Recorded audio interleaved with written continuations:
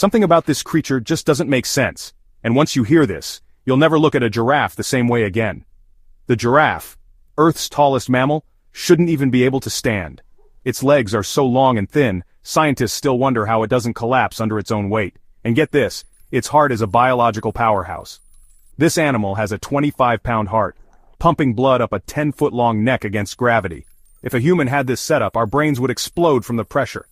But when a giraffe bends down to drink, it should pass out instantly. The blood rush should knock it unconscious. So how does it survive?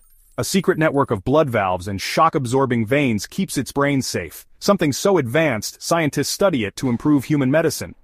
And don't be fooled by their peaceful look. Giraffes fight to the death. Their necks become weapons, slamming into rivals with bone-breaking force.